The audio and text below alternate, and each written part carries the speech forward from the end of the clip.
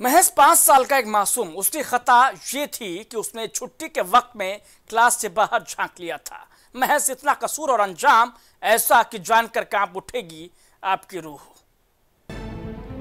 Nursery का एक बच्चा, जिसके पिता अपने बच्चे के बेहतर मुस्तकबिल के लिए उसे जानकीपुरम के सेंट मैरी इंटर कॉलेज में भेजते थे।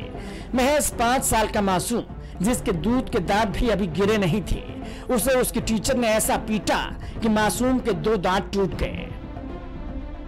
लखनऊ में एक प्राइवेट स्कूल में बच्चे की पिटाई का मामला सामने आया है, जिसमें बच्चा घायल हुआ और उसको हॉस्पिटल भी पहुँचाया गया है। तस्वीर हम दिखाएँगे आपको, लखनऊ के जानकीपुरम इलाके में सेंट मैरी स्कूल देख रहे हैं। यहाँ पर एक नर्सरी का जो छात्र है, उसकी जो है, वहीं पर जो शिक्षिका हैं, उन्होंने पिटाई की, जिससे उस छात्र के दांत टूटे और वहाँ पर मुँह से ब्लीडिंग भी होना शुरू हो गई।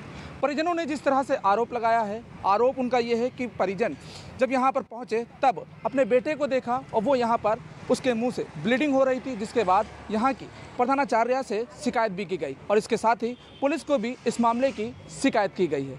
मौके पर पुलिस पहुँची थी उसने भी यहाँ का सीसीटीवी फुटेज अपने कब्जे में लिया है। लेकिन अगर इस मामले में बात की जाए, जो प्रधानाचार्य हैं, उन्होंने सफ़ाई दी है कि इस मामले को लेकर के उन्होंने गंभीरता दिखाई है और जो यहाँ पर शिक्षिका थी, उनको अभी क्लासरूम में जाने से रोक दिया गया है। और इसके साथ ही जब जाँच पूरी हो जाएगी तो उसके बाद शिक्षिका के खिलाफ कार्रवाई भी की जाएगी। शिक्षिका लक्ष्मी नर्सरी की क्लास ले रही थी। उन पर इल्ज़ाम है कि जब छात्र छुट्टी से पहले क्लासरूम से बाहर देख रहा था, तभी उन्होंने छात्र को थप्पड़ जड़ दिया। इससे बच्चे के ऊपरी जबड़े के दो दांत टूट गए और खून निकलने लगा।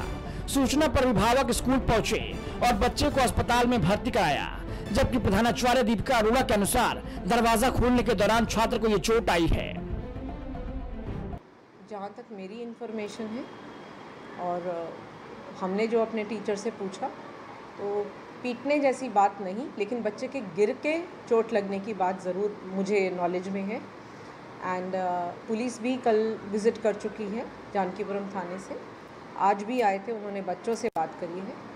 लेकिन प्रिकॉशनरी क्योंकि बच्चे को एंड ऑफ़ द डे बच्चे को चोट लगी है और स्कूल का सिर्फ़ एक ही एफर्ट है कि बच्चे बहुत सेफ़ सिक्योर माहौल में एजुकेशन लें।